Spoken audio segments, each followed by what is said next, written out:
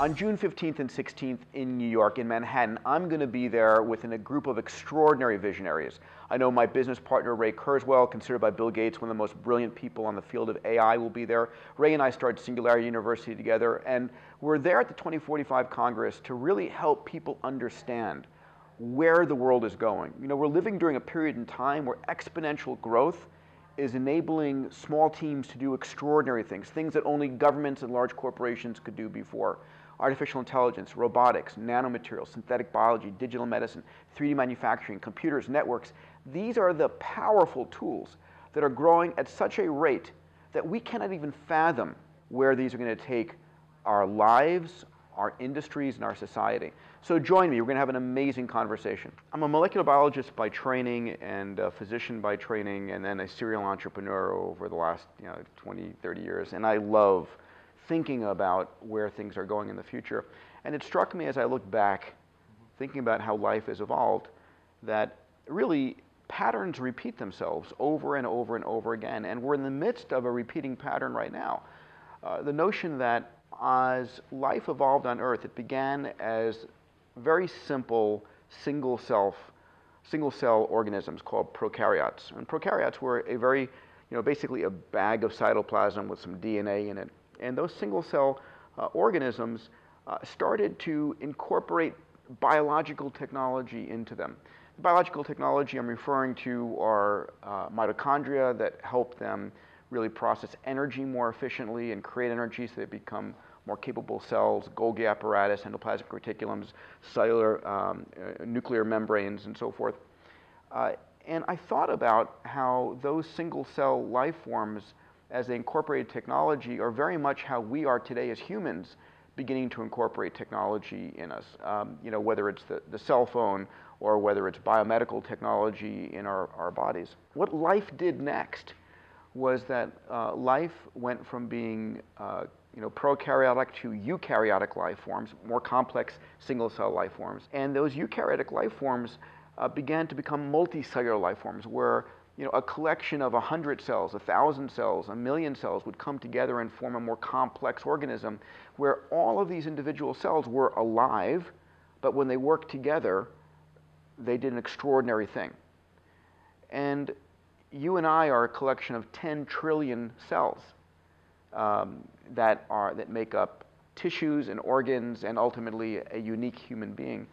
And I've thought about how the technology that we're creating today, uh, at an exponential rate. Literally, the human-machine interface technology of ultimately being able to plug in through uh, optogenetics or you know uh, human-machine chip interfaces are, and the internet, of course, are giving us the ability to communicate in a much more intimate fashion. Where I think, well, within the next decade, there's going to be the potential for me to know people's feelings and thoughts in a much more intimate fashion. And if all of a sudden we are becoming a species uh, of 7 billion interconnected individuals, what I call a meta intelligence, we are a new organism, just like, yes, we're, we're 7 billion individuals, just like I'm a, I'm a collection of 10 trillion individual cells, but these 10 trillion cells become conscious as an individual named Peter Diamandis. And I think that uh, on this planet, we are alive during a period of evolutionary change where we are going from a collection of, of billions of individuals to a connected populace of humans interfacing with an extraordinary amount of artificial intelligence, and computational power that's around the internet, where we together are becoming what I call this meta intelligence. And that's an exciting time to be alive. And I, I think about us as a species becoming conscious on a new level like never before. We're going from evolution by natural selection, which is Darwinism, to evolution by intelligent direction.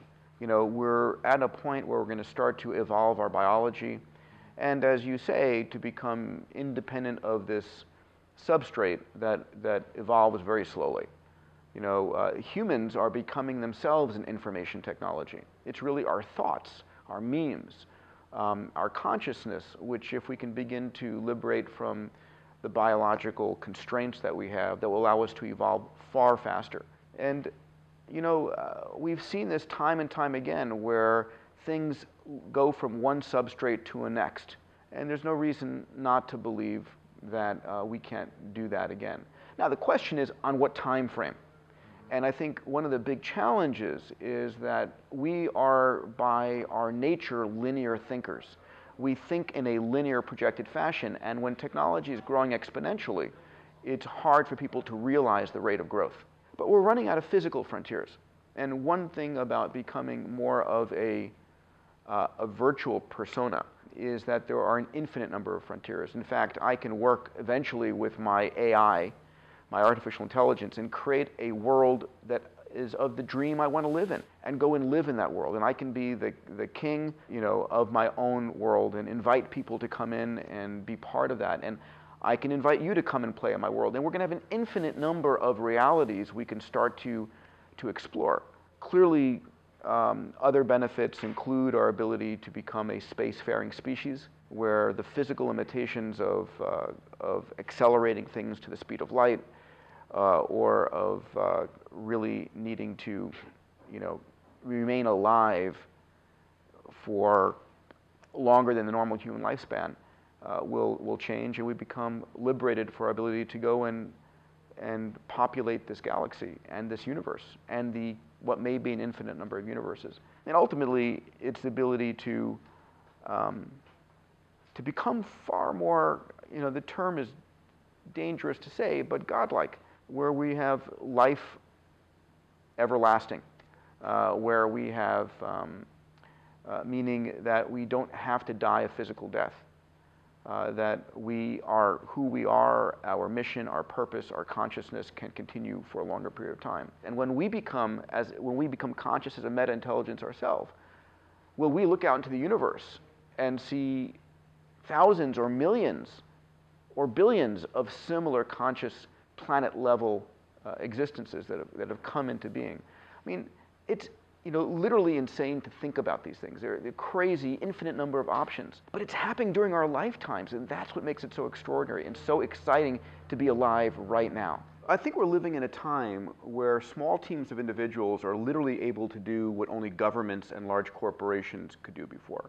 You know, one example is the fact that space projects were only the purview of the Soviet Union, the Russian Space Agency, NASA. And now we see groups like uh, Scaled Composites that won the Ansari X Prize building private spaceships. Uh, we have a $30 million competition funded by Google uh, for the Google Lunar X Prize, where we have 24 teams around the world building robots to go and land on the moon. So it's extraordinary what's possible. You know, what's happening is that people are now empowered more than ever before.